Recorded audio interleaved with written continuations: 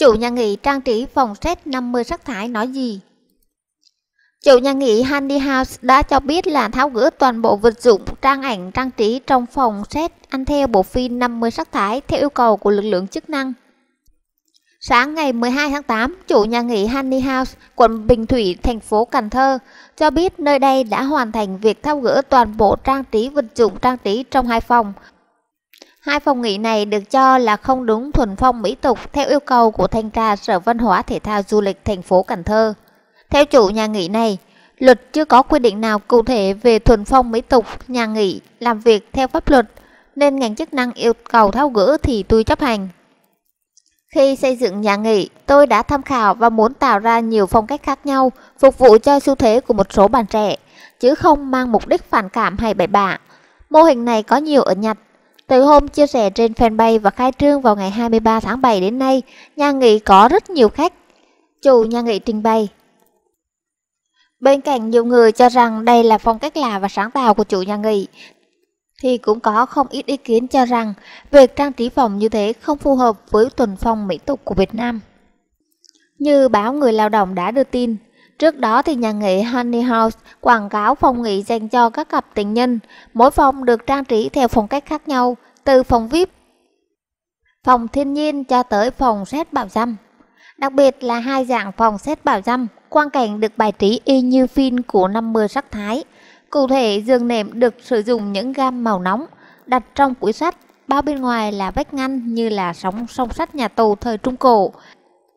Kèm theo là vô số các vật dụng bào dâm được treo trên tường của phòng.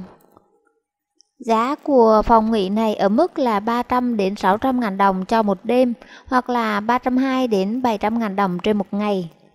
Sau khi có phản ánh của dư luận thì Thanh tra Sở Văn hóa, Thể dục, Thể thao, Du lịch sau khi có phản ánh của dư luận, Thanh tra Sở Văn hóa Thể thao Du lịch kiểm tra và yêu cầu nhà nghỉ phải thao gỡ những đồ vật trang ảnh có tính bạo lực trong hai phòng nói trên để phù hợp với thuần phong mỹ tục nhưng sẽ không chủ xử phạt chủ cơ sở này.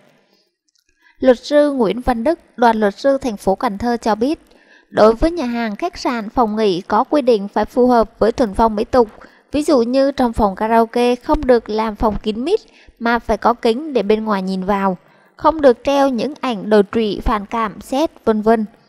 Về trường hợp của nhà nghỉ Honey House, luật sư Đức cho rằng nếu như anh ta trang trí những vật dụng tranh ảnh như trên trong phòng ngủ của anh thì không sao, nhưng đây là nhà nghỉ có nhiều đối tượng trú ngụ, là nơi hoạt động kinh doanh nên việc kinh doanh phải tuân thủ theo chuẩn mực.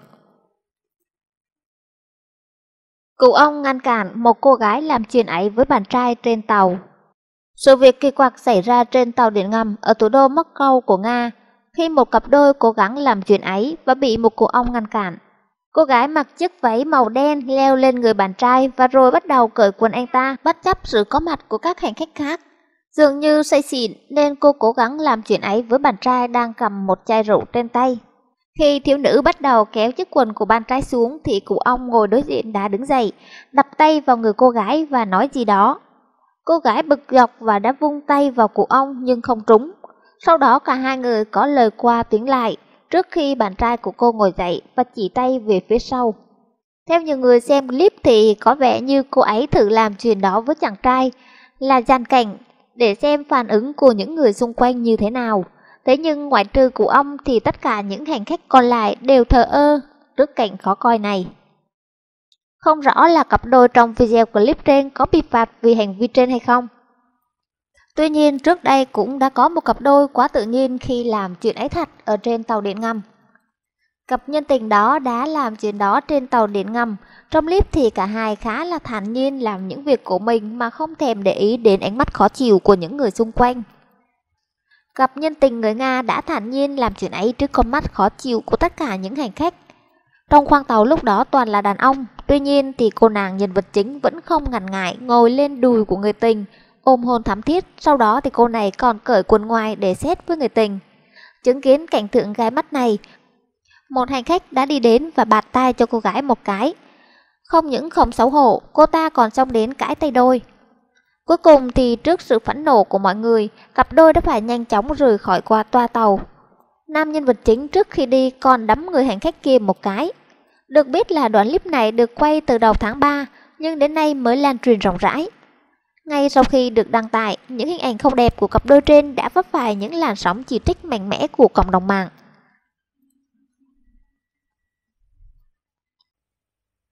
Bí ẩn thị trấn cổ hàng nghìn tuổi, tới giờ cư dân vẫn sống ngầm trong lòng đất. Cộng đồng gần 4.000 tuổi với hàng ngàn cư dân sống trong những ngôi nhà dưới lòng đất. Các ngôi nhà kiểu hang chủ yếu được xây dựng xung quanh một San Mesia, tỉnh Hà Nam và được mệnh danh là ngôi làng bí ẩn nhất Trung Quốc. Những bức ảnh chụp từ trên cao mới đây đã cung cấp cho dân cư mạng những hình ảnh hiếm hoi về một ngôi làng Trung Quốc bí ẩn, nơi cư dân đã sống trong những chiếc hầm giống như hang động ở trong lòng đất khoảng 4 thiên niên kỷ nay. Thị trấn bí ẩn này nằm ở San Mesia, tỉnh Hà Nam của Trung Quốc, có gần 10.000 ngôi nhà. Hiện tại vẫn còn khoảng 3.000 người đang sinh sống trong khi những người khác thì đã chuyển đến những ngôi nhà hiện đại. Các căn nhà hình vuông hoặc là hình chữ nhật bị chìm xuống đất có nhiệt độ bên trong khoảng tầm 10 độ vào mùa đông và 20 độ vào mùa hè. Những cư dân sống trong những ngôi nhà cho biết ngôi nhà của họ rất là thoải mái, ấm vào mùa đông và mát mẻ vào mùa hè. Một ngôi nhà điển hình là rộng khoảng 7 đến 8 mét nằm chìm dưới mặt đất. Khách du lịch đến thăm một trong những ngôi nhà dưới lòng đất của huyện San, tỉnh Hà Nam vào năm 2014 sau khi nó được chuyển thành một địa điểm du lịch hấp dẫn.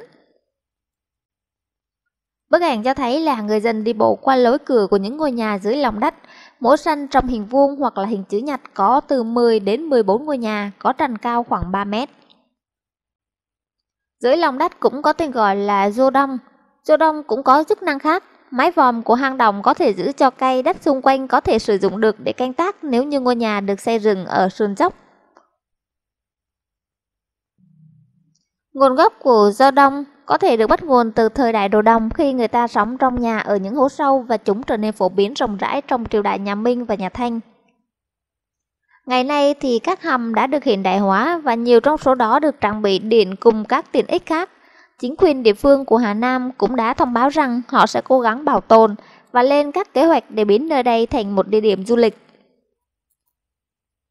Cấu trúc của dạng nhà hầm này cũng rất là đáng tự hào về các tính năng bao gồm kháng động đất, chống âm, thậm chí là tiết kiệm năng lượng. Những bức ảnh tuyệt đẹp một trong những ngôi làng cho thấy cánh cửa giống như lăng kính và giao thông được phân bổ rất là hợp lý. Một ngôi nhà cổ có xanh, cối xây và 4 năm ngôi nhà hầm được gọi là một giao đông. Có 6 thế hệ sống dưới mái nhà này trong khoảng 200 năm. Theo một cư dân cho biết thì một hang động chỉ gồm một phòng ngủ cơ bản không có hệ thống ống nước có sẵn. Được cho thuê khoảng 21 tệ mỗi tháng và một ngôi nhà đầy đủ 3 phòng ngủ và phòng tắm thì có thể bán với giá khoảng 32.000 tệ. Thị trấn cổ này được liệt kê như một dạng di sản phi văn hóa vật thể của chính quyền Trung Quốc từ năm 2011 và hiện tại đang được bảo tồn. Một sân trong nhà hố trung bình có độ sâu khoảng 6 đến 9 mét, chiều dài từ 10 đến 13 mét và được xây dựng chắc chắn bằng vật liệu tự nhiên cả bốn mặt. Quá phụ đồng ý cho trai trẻ làm chồng 5 đêm. Người phụ nữ quá chồng phải mất một thời gian mới thừa nhận sự việc rằng mình tự nguyện cho trai trẻ làm chồng năm đêm. Người phụ nữ đó là bà Đinh Thị Nga, 50 tuổi, trú làng Ren, xã Long Môn, huyện Minh Long, tỉnh Quảng Ngãi. Bà Nga có hai đứa con gái đều đã bước qua tuổi 20. Kinh tế gia đình nhà bà Nga có khá giả hơn những gia đình người khác bởi vì bà sở hữu nhiều đất đai và rẫy trồng keo, bắp, chè. Vào mùa khai thác keo, bà Nga có ý định bán cho chủ thu mua ở dưới xuôi nên đã thuê các thanh niên trai tráng trong làng đến làm công. Trong số 5 người đến gia đình làm công cho gia đình nhà bà Nga thì có anh Đinh Văn Bình, 32 tuổi, trú làng Ma Cà Rá, xã Long Môn. Do nghèo nên vẫn chưa có vừa con. Trong số 5 công nhân thì bốn người còn lại đều đã có gia đình, nên buổi tối sau khi xong việc, họ đều tranh thủ đi bộ về nhà.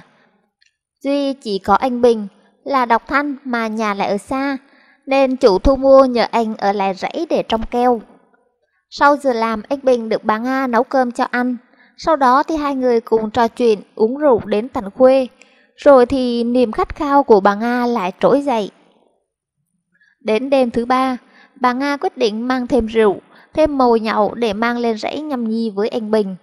Trước khi đi thì bà dặn dò hai đứa con gái của mình đóng cửa ngủ trước bà không về.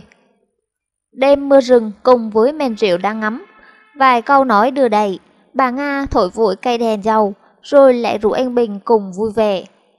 Những ngày tiếp theo trong căn trò nhỏ, đôi nhân tình vẫn điệp khúc uống rượu trò chuyện tắt đèn. Tuy nhiên thì chỉ vui vẻ được đúng 5 ngày, thì mối quan hệ giữa bà Nga và người tình mới đã bị phát hiện.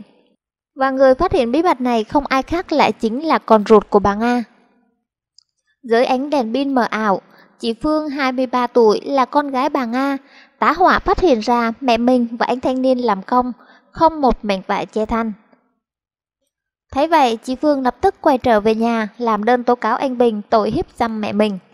Sau khi thấy con gái đâm đơn tố cáo, bà Nga lại đột nhiên thay đổi thái độ và khai theo lời con gái rằng là mình bị cưỡng bức. Sự việc trên diễn ra trong nhiều tháng liền khiến cho công an cũng bó tay. Mãi đến khi hồ sơ vụ án được chuyển lên trên huyện Thủ Lý thì bà Nga mới chịu thừa nhận rằng mình tự nguyện đồng ý cho anh Bình làm chồng trong năm đêm.